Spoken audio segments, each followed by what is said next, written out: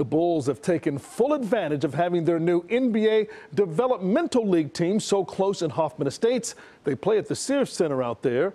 As Megan Mawicke reports, the Windy City Bulls may be in the D League, but it's an A-plus opportunity for some basketball lifers.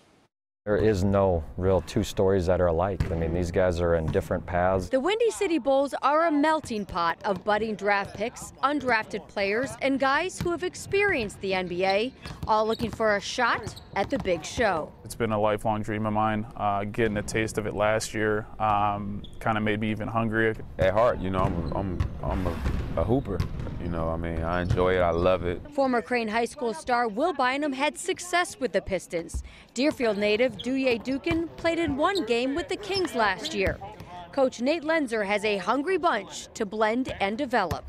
This is what we talked about. Now we got no two games are the same. You know, my roster's changing from day to day. We're trying to look out for the best interests, obviously for your team, but also uh, try and help each of these players uh, reach their goals. You know, I'm still young, and I feel like if I can show these guys what I can do through you know heavier minutes and more time on the court, set myself up for whether that's an NBA call-up or NBA contract next year or going to Europe.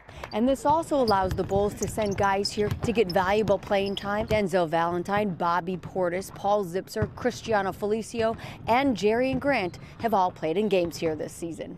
It's tough because, you know, once guys get, get sent down from assignment, you know, they're forced to develop. They're forced to, to play a certain amount of minutes. And, you know, it puts pressure on the coach no matter if it's guys here already that's, that's been playing. Obviously, they want to play and they want to uh, work on their skills as well, but it also provides an opportunity for them to play alongside NBA players. It provides them an opportunity to be seen by more NBA executives. In Hoffman Estates, Megan Mawicke, CBS 2 News.